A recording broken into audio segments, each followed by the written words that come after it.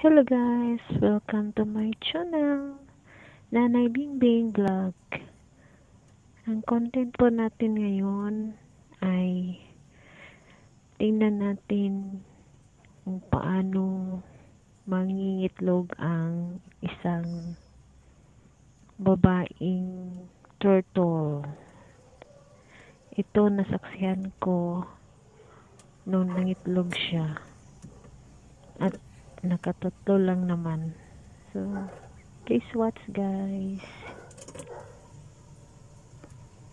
Ang isang pagong pala kapag sila ay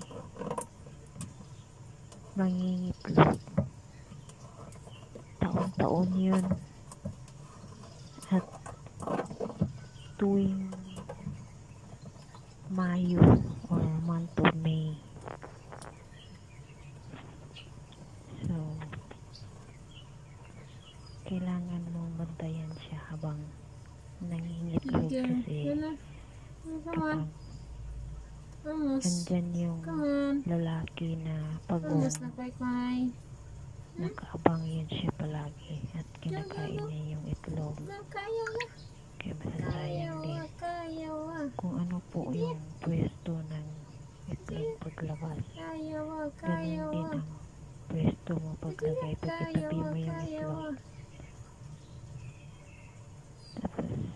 tagal-tagal kung naghantay para makita ang pangitlog niya. Ngayon ko lang talaga siya nakita. Kaya pati ako napairi na din. Habang nanonood.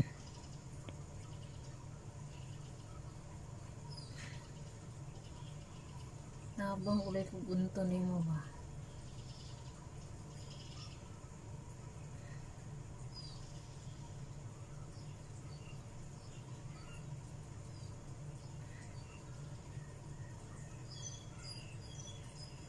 Coming, coming. Coming, yay. Yay.